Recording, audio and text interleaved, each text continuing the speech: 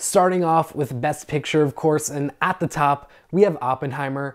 I think if we've learned anything from the past few months, and really ever since Oppenheimer came out, and even before Oppenheimer came out, just the second it was announced that Christopher Nolan was directing a biopic that starred guys like Robert Downey Jr.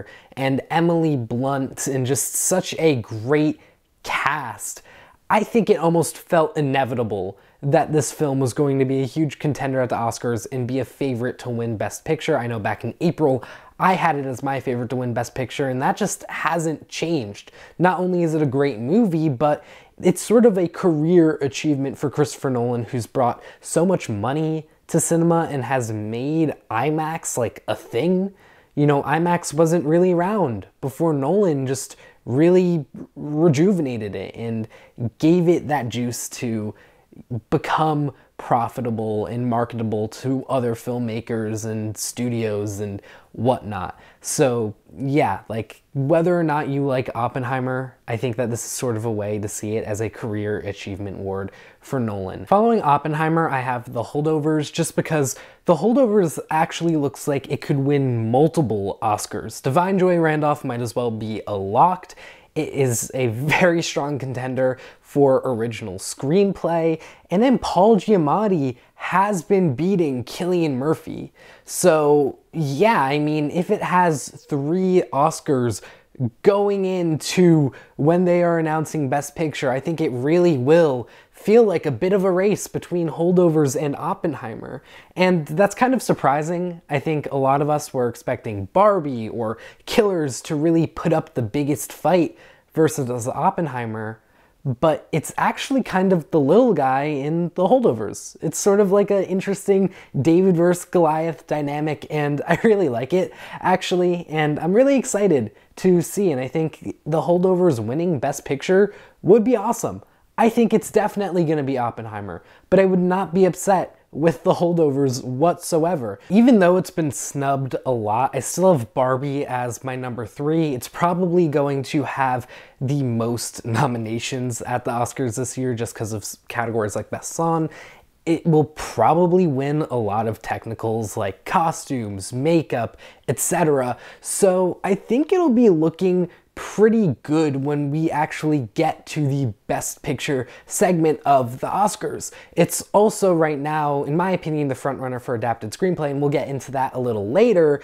But you know, just because of all of those, and because Margot Robbie might be getting nominated for Best Actress, uh, Ryan Gosling's gonna get a Supporting Actor nomination, you know, there's a lot of reasons why I think Barbie could still win Best Picture.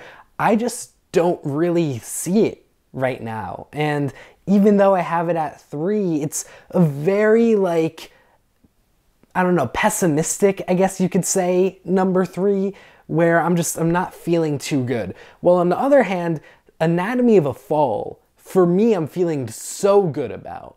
And honestly, like, I, I'm playing it a little safe putting Anatomy of a Fall under Barbie. I think personally I want to put it at three, but I just, I can't get over that, you know, that heap where it's just like a foreign film and, you know, like might not win anything. but it's been doing so well at all of these awards. It's been getting nominated for a lot of things like the BAFTAs. It won at the Golden Globes for screenplay you know, and Sandra Hüller could have beaten Lily Gladstone. Like that was probably really close for them. Um, you know, and I, I just think now that Lily Gladstone isn't even nominated at the BAFTAs, I think Best Lead Actress feels a bit more open now you know, where it doesn't feel locked for Lily Gladstone. And we can see who will step right in and take that number one spot. I wouldn't be completely floored if that happened. So, yeah, I'm feeling good about Anatomy of a Fall. Also, Justine Triet could be getting a Best Director nomination, which would be really exciting. And I don't know, could it be like a Parasite type of a thing? Probably not but like that would be really exciting. And I'm really excited at that possibility.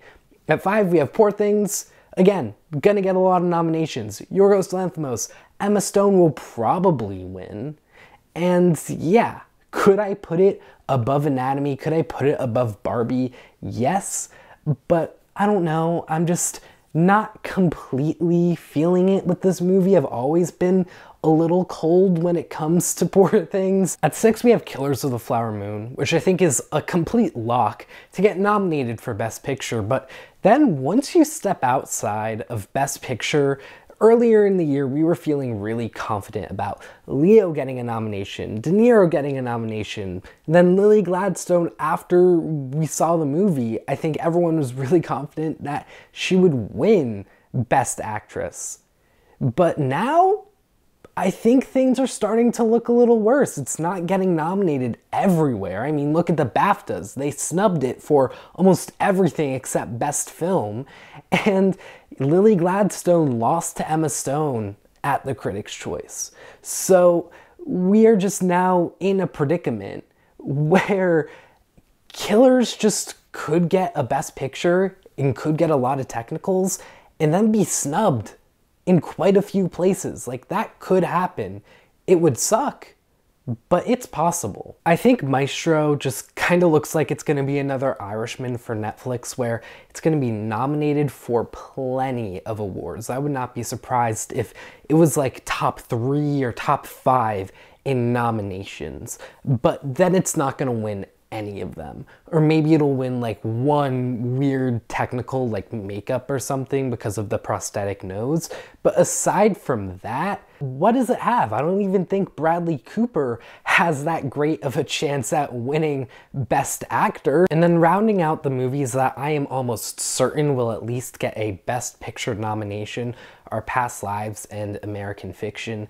At this point, they've been doing pretty well at you know the awards that have been going on right now american fiction. I know just won a critics choice for screenplay and on the other hand past lives yo yo got nominated at the baftas which was absurd but also completely awesome.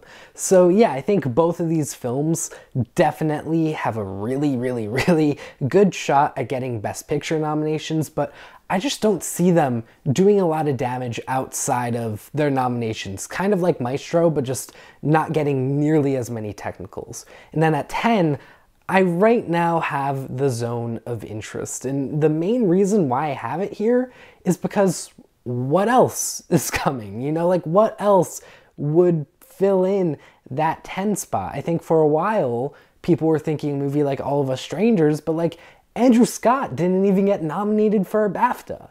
You know, like their lead actor, and this is a British film, the lead actor of a British film didn't get nominated for a BAFTA, which is very much biased towards nominating British people in British movies. So I think that really, really says something about All of Us Strangers, that, that it's just not strong.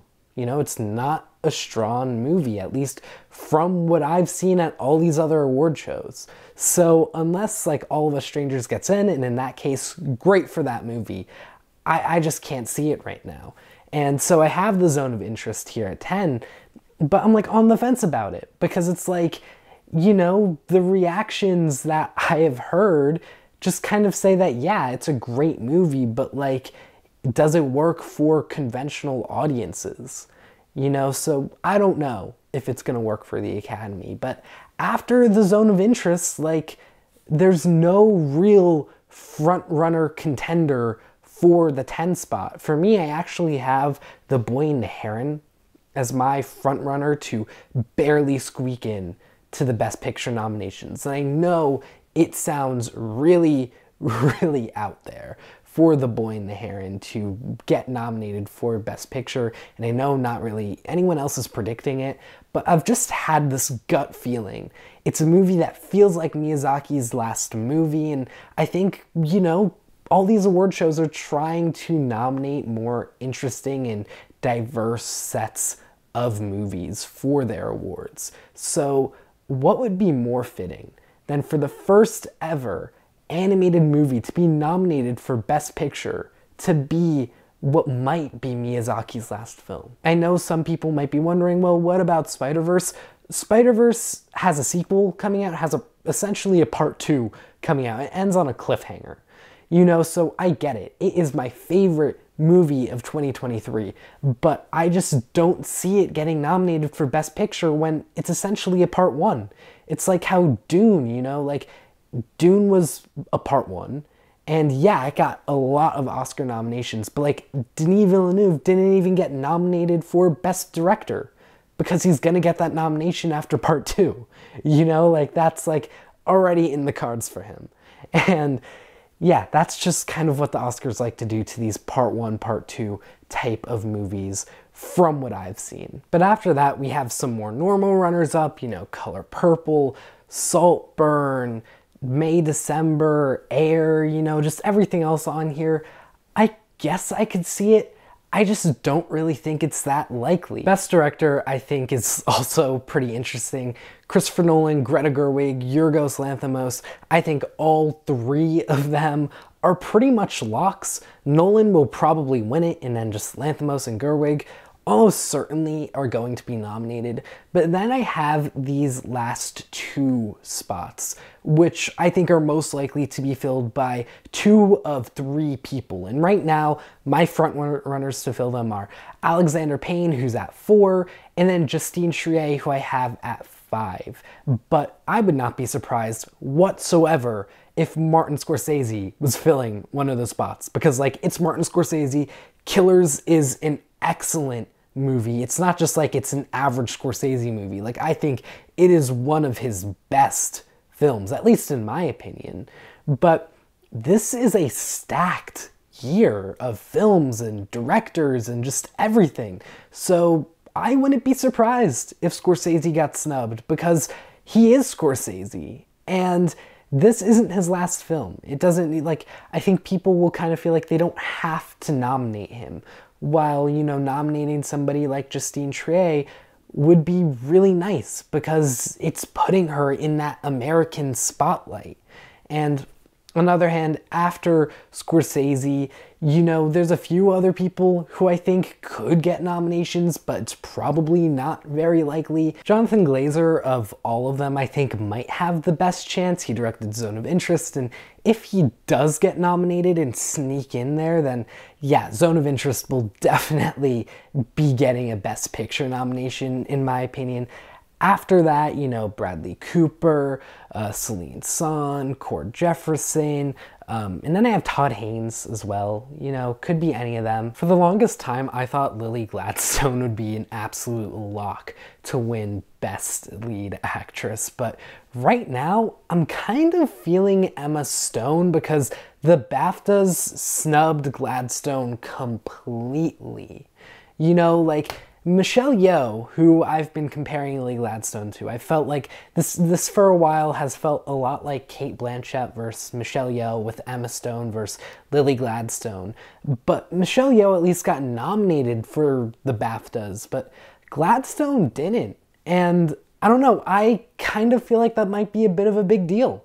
So currently, I have Emma Stone at one, Lily Gladstone at two. Sandra Hüller, I think, has a really sneaky chance to just go in and win the award herself. You know, not like a big, big chance, but like if Emma Stone or Lily Gladstone start to look like they're slipping, Sandra Hüller's the next person up, in my opinion. But after those three, I don't really think anyone else has a shot at winning it, but the two other people I have being nominated are Carey Mulligan and Margot Robbie. Margot Robbie, for a while, I think was favored to not get in, and then Fantasia Barrino was favored to be the fifth person in.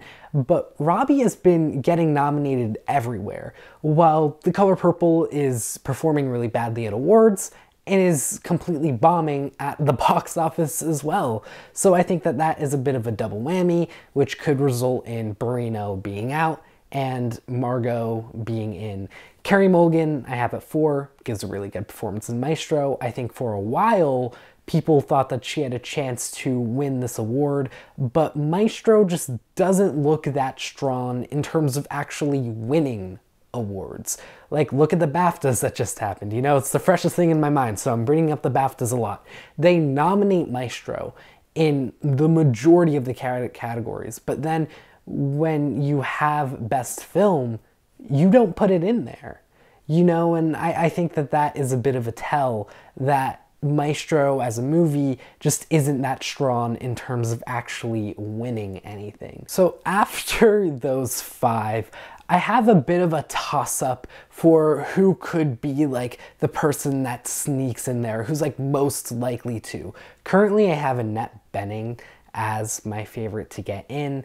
Um, I don't want her to be nominated. I didn't like her performance in Nyad, but she's being nominated in a lot of places despite the fact that I don't want it to happen because obviously I have a lot of influence, you know? Um, and anyways, aside from Annette Bening, you also have Fantasia Barrino and you have Greta Lee. I think that all three of them almost have an equal shot and might as well be tied for that sixth spot in my opinion. But if I were to put it in an order, it would be this. It would be Bening, Barrino, and then Greta Lee. I also have Natalie Portman on here. I don't think it's too likely that she gets in. It really seems like, you know, critics seem to like May December a bit but then actual like people who work in the industry don't seem to like May December as much. So that's why I don't have it being nominated for Best Picture. I don't have Portman as a favorite to be nominated here. And you'll see in the rest of this video, May December doesn't do too great in any of the other categories as well, or at least I don't think it will. And with that being said, let's switch over to lead actor, where I have a new person who I think is the favorite, just like with lead actress. For months, I have thought it would be Cillian Murphy. I kind of viewed Cillian Murphy similar to how I viewed Lily Gladstone, where it was almost a lock that they would win. But Paul Giamatti has been performing so, so well. He's been getting nominated everywhere alongside Cillian Murphy, and then at the Critics' Choice, he beat Cillian Murphy. So currently, I have Giamatti as my favorite to win Best Actor, and honestly, that would be awesome. Cillian is my number two though, and I really think that it's kind of a toss up between them. I know I have Bradley Cooper at three, but I feel like like you have Cillian and Giamatti right here. And then you kind of have Bradley Cooper and everyone else down here and lower. You know, like I think that there's a sizable gap between Paul Giamatti and, or sorry, not between Giamatti and Murphy, but from Giamatti and Murphy to everyone else. And we will see if anyone else is able to climb over the gap, but I don't think so. I think it's really a two actor race right now. But yeah, Bradley Cooper and then Jeffrey Wright, I think, are locks to be nominated. And then for this fifth spot, I see it as a total toss up between Leonardo DiCaprio, who I have just barely missing the cut, and Colman Domingo, who I have making the cut. And again, I will point to the BAFTAs where DiCaprio was snubbed and then Colman Domingo was in. So I'm using that as a bit of a reference for why I currently have DiCaprio as the odd man out. But if DiCaprio's in and Colman is out, that would make complete sense to me and I wouldn't be too surprised. I also personally just didn't think that Colman Domingo's performance was all that impressive. It was definitely the best part of Rustin, but that's not really saying much because I didn't think Rustin was all too good. While DiCaprio, on the other hand, I think gave a stellar, stellar performance and really deserves a nomination. I hope he gets it, but you know, it's a lot more than just how good your performance is. And then as the rest of the runner-ups, I kind of have Teo and Barry Keoghan sort of grouped together in my eyes. You know, Teo I wouldn't have had on this video whatsoever, but then he got nominated for a BAFTA, so never mind. Now I have him right behind Leo DiCaprio. And then right behind him is Barry Keoghan, like I said, you know, I'm not a big Saltburn fan, and I also just don't see Saltburn getting nominated in a lot of places. I see the Academy viewing it similarly to how they viewed Babylon, and Babylon didn't get a lot of nominations, nor did it get any wins, actually. I don't think it won anything at all. So yeah, I just I don't really see Keoghan getting the nomination, but who knows? It could happen.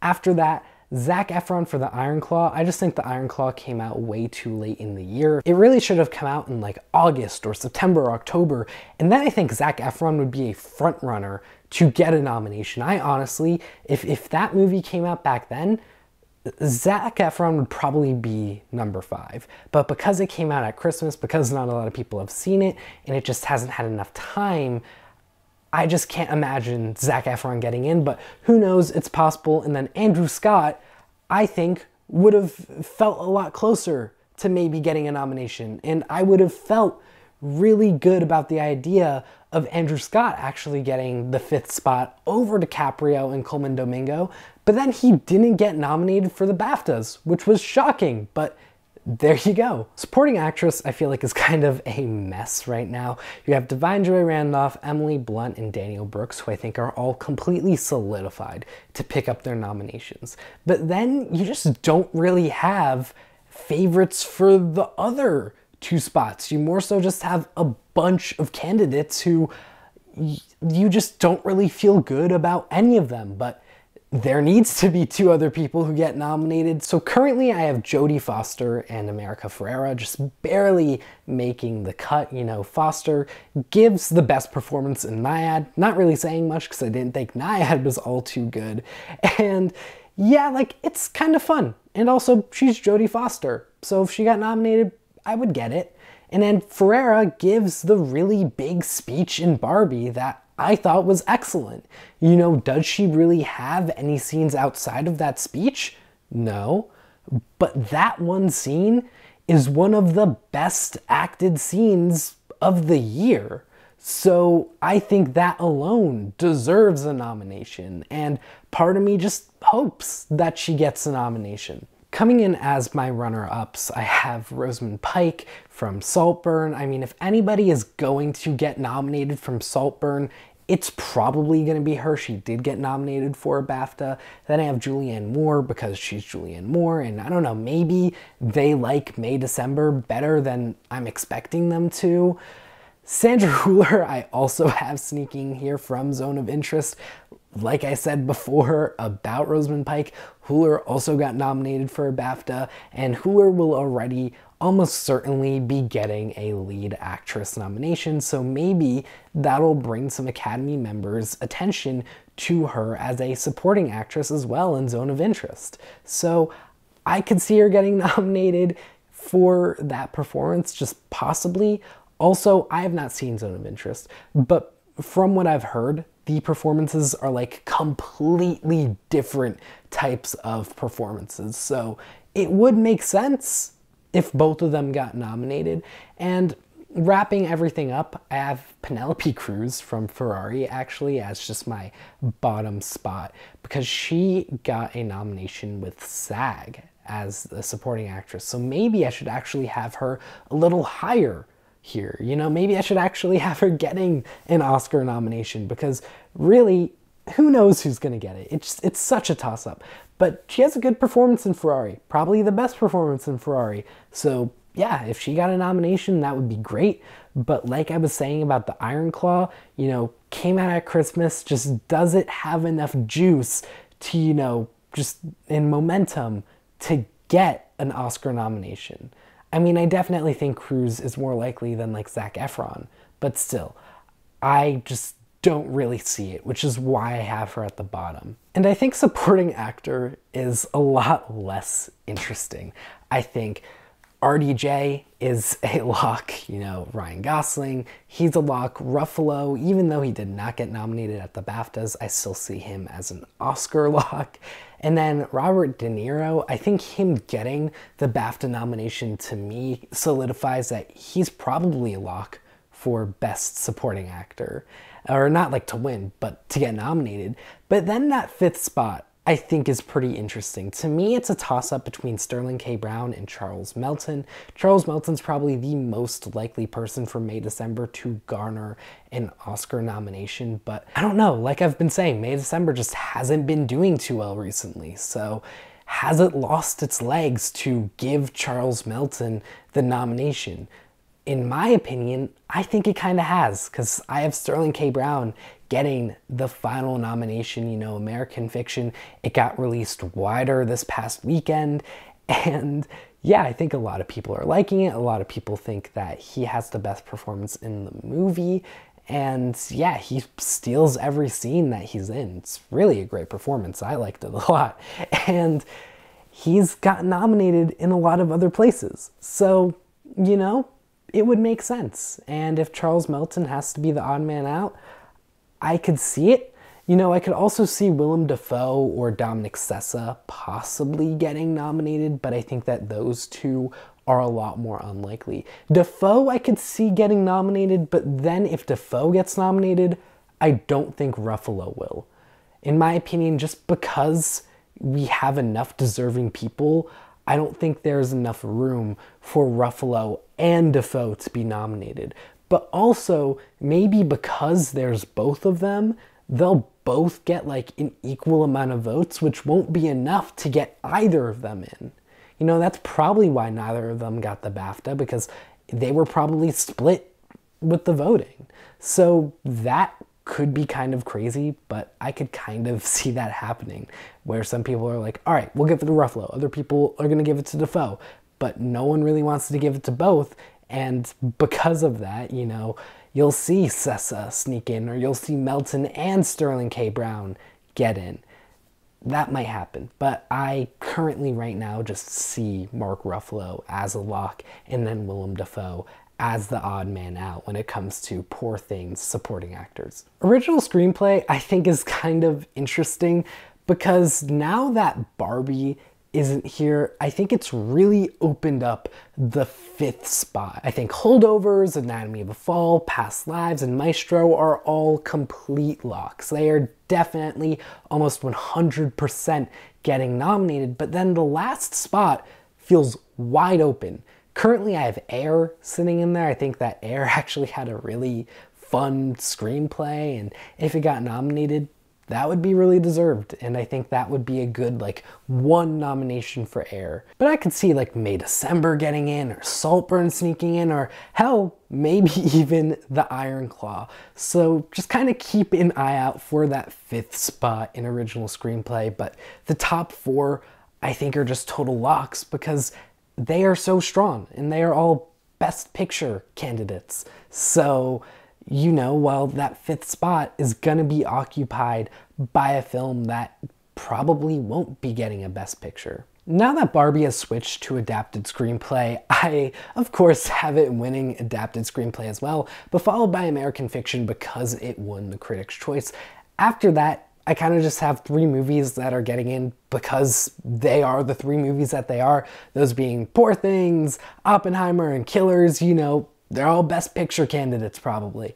So they'll probably get nominated for adapted screenplay as well. Maybe Zone of Interest could sneak in over Killers. I could see that just because Killers looks pretty weak right now you know and if it's gonna if any of these films are going to be knocked out i think it's killers and that will probably be done by the zone of interest i could also see all of us strangers maybe sneaking in or what I think is a really big dark horse, but could be really fun if it gets nominated, is Are You There, God? It's Me, Margaret. Again, I don't think it'll get nominated, but just I have it as a huge, huge, huge dark horse. And if it does get nominated, then I'm the one who said it, okay? But what about all of you? What are your Oscar nomination predictions? Let me know in the comments down below. I will see you all in the next video. Take care.